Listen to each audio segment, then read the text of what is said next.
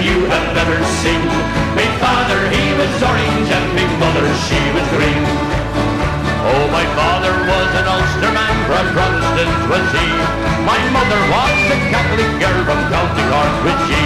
They were married into churches, lived happily enough. Until the day that I was born and things got rather tough. Oh, it's the biggest mix-up that you have ever seen. My father, he was orange